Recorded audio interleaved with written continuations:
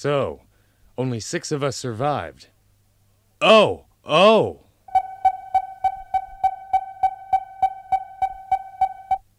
Here come the Rebel Army soldiers. There's no damage on the weapons. Let me show them some fancy action now.